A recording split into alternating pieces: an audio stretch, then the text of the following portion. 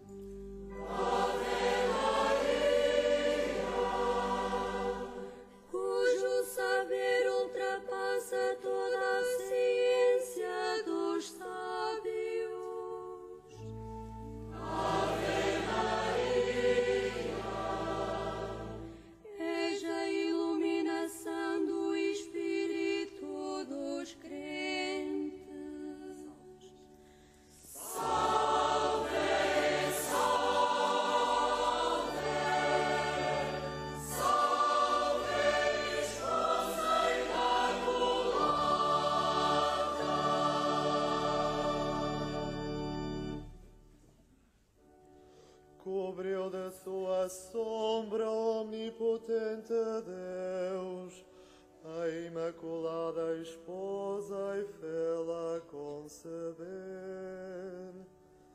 O seu fecundo ventre é como um campo fértil, seara redentora dos que assim exultam.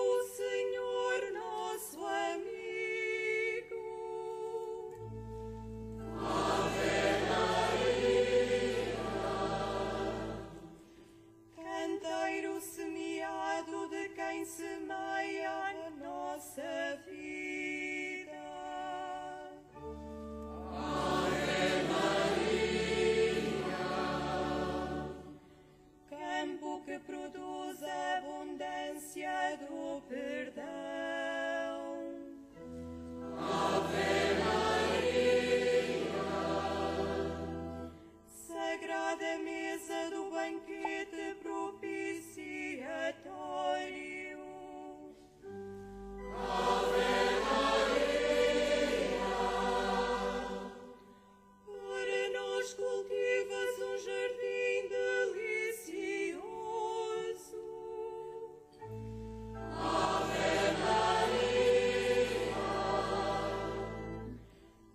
nossas almas preparas um abrigo de paz.